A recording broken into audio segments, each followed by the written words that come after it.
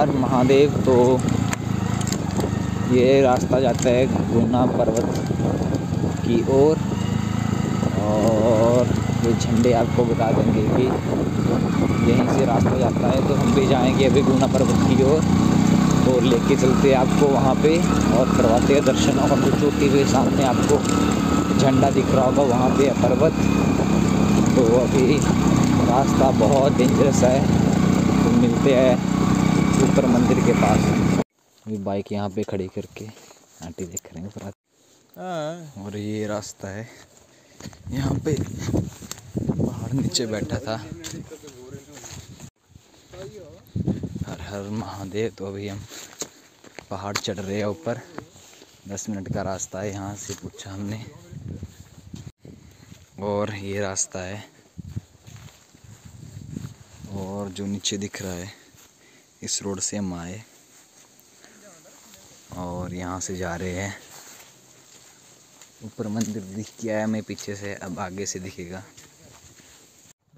और ऊपर मंदिर दिख रहा है, वहाँ पे जाएँगे हम। और यहाँ नीचे है तालाब। और ये है रास्ता। हर हर महादेव। इस रास्ते से होकर गुजरना पड़ता है। ये सुंदर सुंदर पुष्प।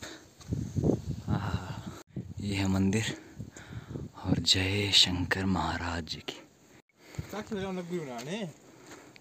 चोट बोलना दोबारा और हर हर महादेव, शंभु, शंकर। इन्नू रास्ता चंदू आगे जो देखो फिर जाएँगे। ओम नमः शिवाय, ओम नमः शिवाय। जय बाबा बालकनाथ जी की बाबा बालक दब सेरा है ਉਹ ਜਿੱਥੇ ਬਾਬਾ ਰਤਨ ਬਸੇ ਕਹਿੰਦਾ ਹੋਇਓ ਕਰ ਮੈਂ ਹਰ ਹਰ ਮਹਾਦੇਵ ਜੈ ਸ਼ਿਦ ਬਾਬਾ चंदा होइयो कर मेरा है। चंदू, क्या रोल रहा? तो पेड़िए तो नहीं आई है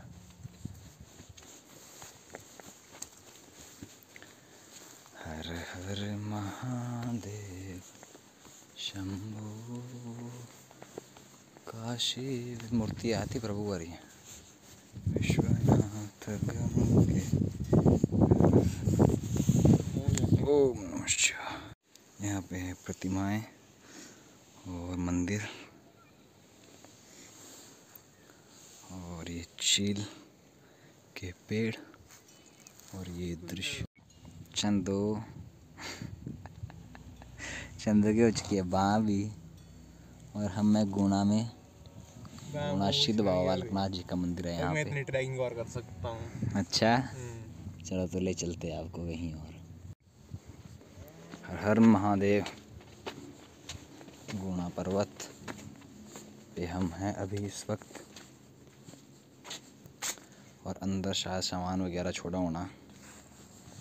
और यहाँ पे चल है। कुछ नहीं अंदर आ जा। समान समून छड़ होना बंदे आ रहा देख कढ़ाई ये थी। समान हम्म। जय बाबा बालकनाथ जी की। हर हर महादेव, सुंदर जगह है। तपोस्थली भूमि है। ओम नमः शिवाय। जय श्री बाबा बालकनाथ जी। और अभी हम पहुँच चुके हैं अपनी बाइक के पास। हेलमेट हमारे बाइक पे लगे हुए हैं। हम छोड़ देते हैं प्रभु के भरोसे। क्योंकि प्रभु है तो सब कुछ है। और अभी इसी वीडियो करते हैं। यहीं पे एंड तो नेक्स्ट वीडियो के साथ मिलते हैं।